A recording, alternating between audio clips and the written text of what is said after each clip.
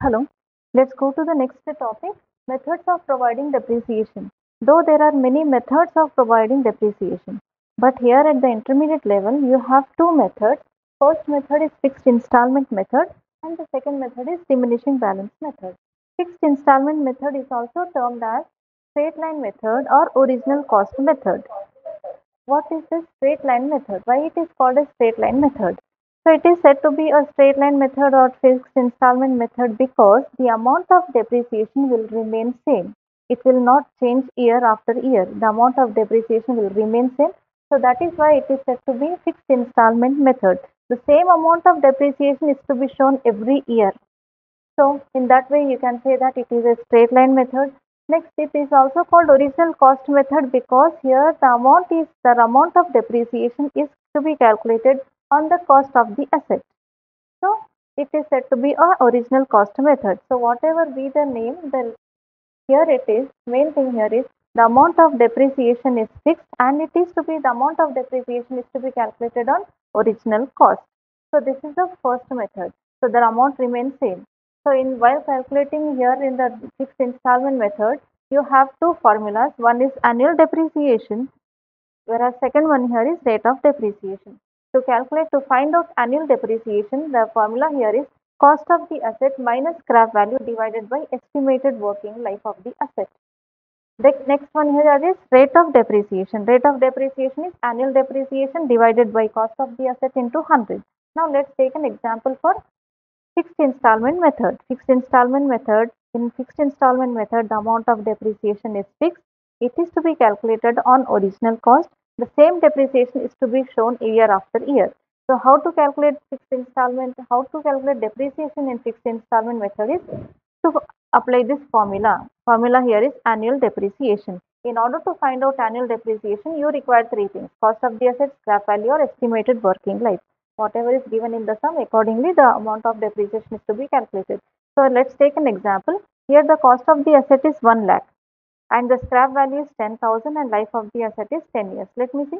Then cost of the asset. Cost of the asset is the cost price of the asset, the amount which is paid at the time of acquiring the asset. So here it is 1 lakh. Scrap value is 10,000. What is scrap value? Scrap value is the residual value. Estimated estimated sale value of the asset after its working life. So the scrap value and next one is life of the asset. The working life here is 10 years. So you should apply this formula. So annual depreciation. Annual depreciation cost of the asset. Cost of the asset here is 1 lakh minus scrap value is to be deducted. Estimated sale value it is 10,000 is to be deducted divided by 10 years. So this comes to 90,000 divided by 10. So here annual depreciation is 9,000. So if cost of the asset scrap value and life of working life of the asset is given means apply the formula of annual depreciation and find out the depreciation. The same depreciation is to be shown year after year. So here the amount of depreciation is 9000. In next here next formula here is rate of depreciation. If you are asked to find out, if you are asked to calculate the rate of depreciation, it will be here this formula is to be applied over here. Rate of depreciation is 2 is equal to annual depreciation. Here annual here I'll write here rate of depreciation is equal to what is the annual depreciation here? 9000 divided by cost of the asset is 1 lakh into 100 so these three zeros goes here this here. So here it is 9 percent. The value of depreciation here the rate of depreciation here is 9 percent so in case of fixed installment method, the depreciation is calculated by applying this formula annual depreciation. This formula is applied only when the cost of the asset, scrap value and working life is given. Sometimes scrap value will not be given. Only the cost of the asset is given and working life is given. Cost of the asset divided by working life, you'll get the depreciation, annual depreciation. Sometimes life of the asset, scrap value will not be given. Only the percentage only the cost of the asset is given. Only the cost of the asset and certain percentage rate of depreciation is given. In that case just take the cost of the asset into rate of rate then find the depreciation. Let's for example suppose cost of the asset is equal to 1 lakh and rate of depreciation rate of depreciation is given here let's take rate of depreciation is 10 percent so depreciation is equal to 1 lakh into 10 by 100 so depreciation is equal to 10,000 so this is first year. Every year the same depreciation is to be shown 10,000. So these are the different ways of calculating depreciation. The first thing here is apply the formula. When the formula is applied, if the cost of the asset, scrap value and estimated life of working life is given, apply the formula and find out the depreciation. So if you are asked to find out the rate of depreciation, apply this formula annual depreciation divided by cost of the asset into 100. So here is the example here annual depreciation is 9000 divided by cost of the asset is 1 lakh into 100 is 9%. In case if the scrap value and working life is not given, only the cost of the asset is given and rate of depreciation is given 10%. So depreciation is equal to cost of the asset into 10 by 100. So depreciation here is 10,000. This is how depreciation is calculated in fixed installment method. So the next method balance method is also called reducing balance method or decreasing installment method. Why it is called reducing balance method here is the amount of depreciation keeps reducing year after year. So here the amount the depreciation is to be calculated on opening balance every year. Like for example, here you don't have any formula for diminishing balance method. Only the cost of the asset is given and the rate of the asset rate of depreciation is given.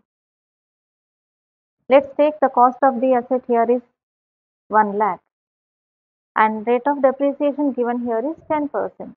So how to calculate depreciation? Depreciation is equal to 1 lakh into 10 by 100. So here the depreciation here is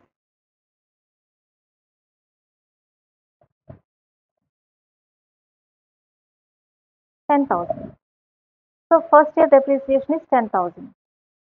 Second year depreciation from cost of the asset is 1 lakh. From 1 lakh, you have deducted depreciation 10,000. What is the balance now? 90,000. 19,000, 90,000 is the opening balance for second year.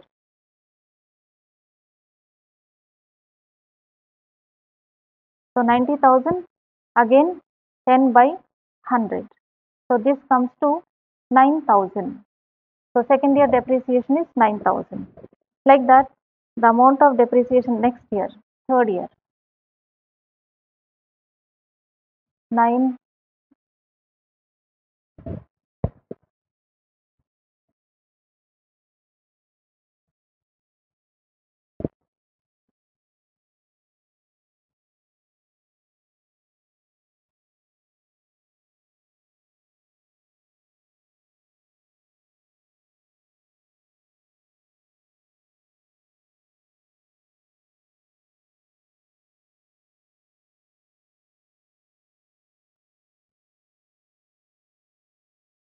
1 lakh is the cost of asset. Depreciation is 10%. So 10% of 1 lakh comes to 10,000. So this is 90,000. This is second year opening balance.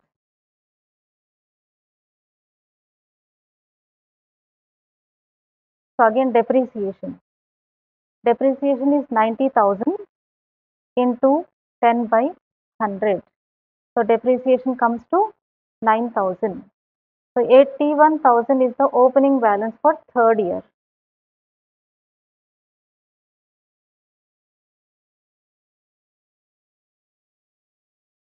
Again depreciation. Depreciation is 81,000 into 10 by 100.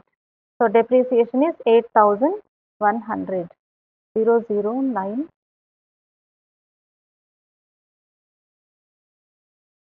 72,900. So, first year depreciation is 10,000, second year depreciation is 9,000, third year depreciation is 8,100. So, depreciation is keeps reducing year after year. First it is 10,000, next year it is 9000, next year it is 8100. The amount of depreciation is reducing year after year. So that is why it is said to be a diminishing balance method. Diminishing, why it is like, why the amount of uh, depreciation is reducing? You are calculating depreciation on opening balances every year. So here 1 lakh, you have deducted first year the value of the machine is 1 lakh, you have deducted 10,000 depreciation, 90,000 is the opening balance for the second year. So on this opening balance 90,000 you have calculated 10% depreciation, depreciation comes to 9,000. So after deducting for the second year depreciation the balance here is 81,000. So 81,000 is the opening balance for the third year. So on 81,000 you are calculating depreciation 10% comes to 8,100. So the next year balance is 72,900. Again on 10% you will get a depreciation of 7,290. So like that the depreciation is calculated on opening balances every year. So the amount of depreciation keeps reducing that is why it is said to be a reducing balance method or decreasing installment method. So these are the two methods of calculating depreciation. Another important uh, point to be kept in mind is the year, financial year.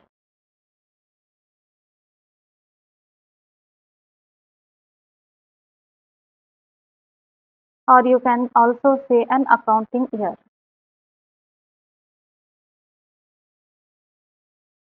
So financial year starts on 1st April and ends on 31st March next year.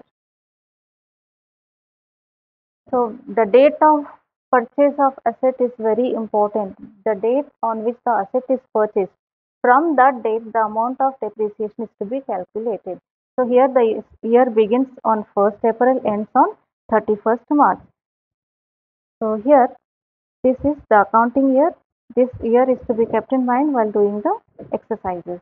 Now, let's uh, what is start example sum.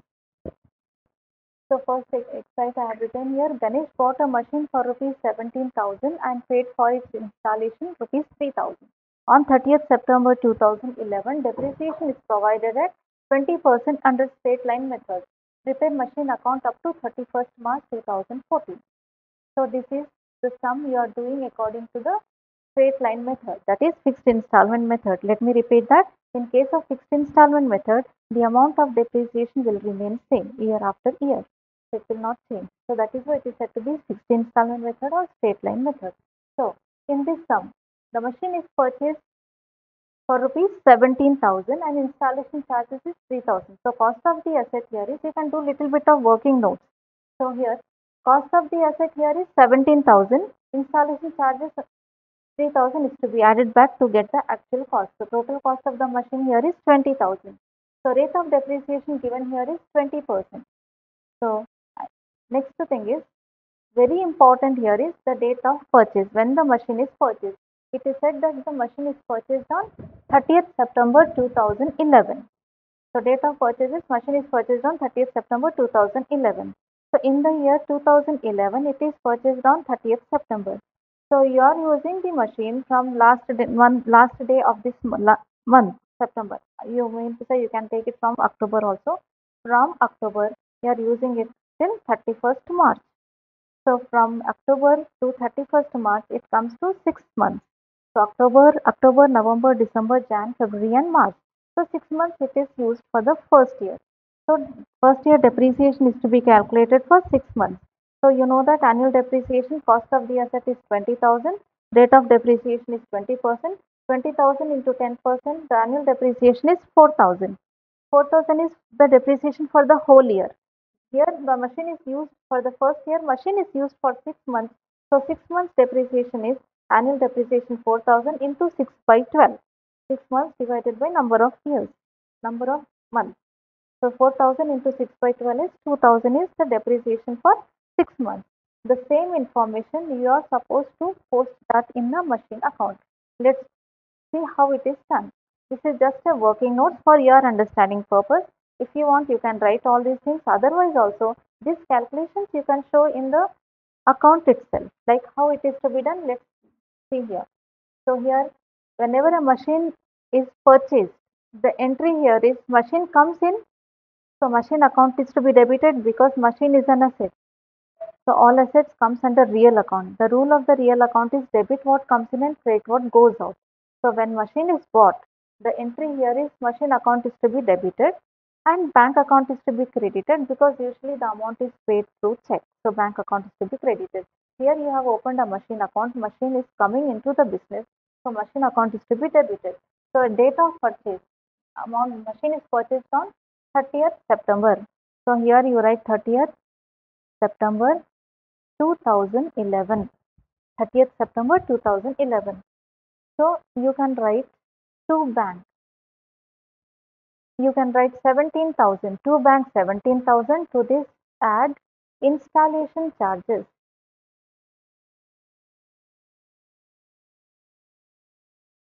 Installation charges here is 3000. So total cost of the machine you have shown on the debit side total 20,000. Now depreciation is to be shown on the credit side and the last day of that year.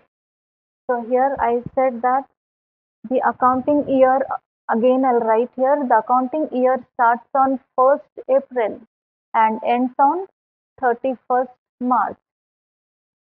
So accounting year started on 1st April 2011 only, whereas you have purchased the machine on 30th September. Year ends on 31st March. So 31st March 2012.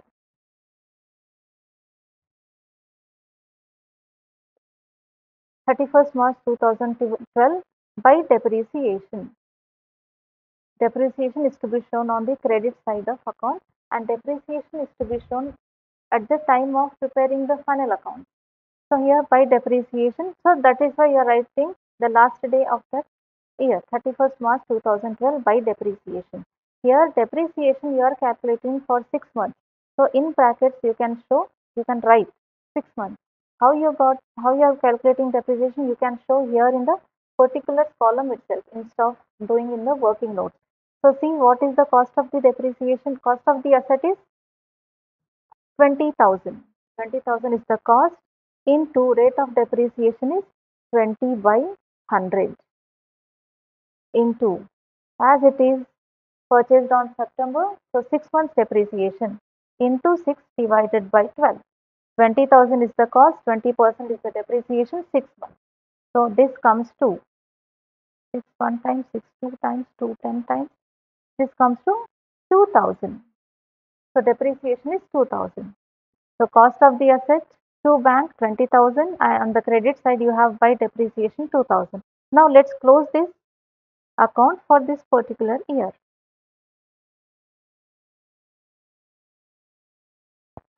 So on the debit side the total here is 20,000. Write the same total here 20,000 and the balance here is 18,000. This is to be taken on 31st March 2012, last day of that year, by balance carried down. So the balance here is 18,000. That is, you have taken the total cost of 20,000, you have deducted depreciation 2,000 and the balance for that year here is 18,000 is the closing balance for this year for this machine. Now for the next year. Next year starts on 1st April 2012. Your year ends here. 12 starts on 1st April. 2. Balance brought down. Balance brought down here is 18,000. Then show the depreciation. 31st March 2013 now. Year begins on 1st April 2012 ends on 31st March 2013. So show depreciation. By depreciation, what is depreciation now? Full depreciation. So 20,000, you can show here 20,000 into 20 by 100. So depreciation comes to 4,000. First year you have shown only 6 months depreciation because asset is purchased on 30th September. You have used machine from September to March. So only 6 months you have used, so you have shown 6 months depreciation. From next year onwards, you are using the machine full year. So full depreciation, 20,000 into 20 by 100, 4,000. Now close this year. 18,000. Here also it is 18,000. Now the balance here is 14,000. This balance is to be taken as again on 31st March 2013 by balance carried down. So second year closing balance is 14,000. Same closing balance will become opening balance for the next year, third year. So 2013. 2 balance brought down. Balance brought down is 14,000. You are asked to show the machine account up to 31st March 2014. So one more this year. 31st March 2014 by depreciation. Same depreciation 20,000 into 20 by 100 4000. Now close this. 14,000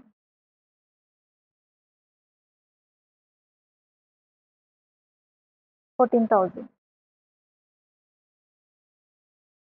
31st March 2014 by balance carried down.